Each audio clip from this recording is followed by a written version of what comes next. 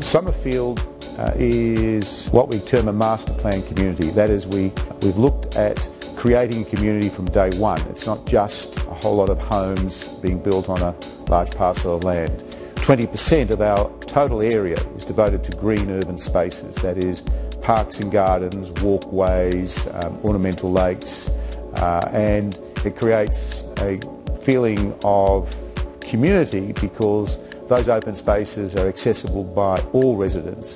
We integrated that with all the existing facilities in the area beyond Somerfield. Immediately adjacent is a major shopping centre.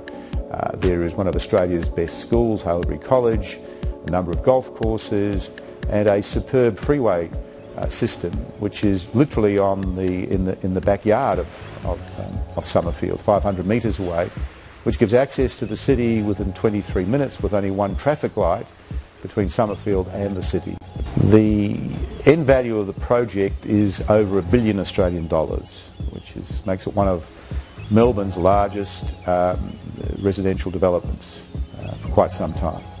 We've already seen in the last three years a substantial capital growth in the underlying value of the land that we've been um, selling. This is really the last substantial piece of land in this area that will support residential development. So it's simply a function of supply and demand.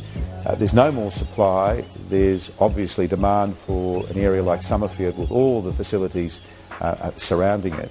And over time, as we sell more of the remaining parcels that we own, uh, scarcity will simply force land values up. We are also close to major employment centres. Uh, Dandenong, which is Melbourne's second city, effectively is only five kilometres away. Our government, our state government, has put a lot of money into the centre of Dandenong to substantially upgrade the city facilities and to, to really um, put hundreds and hundreds of millions of dollars back into that area, which is going to obviously benefit everyone, including residents of Somerfield.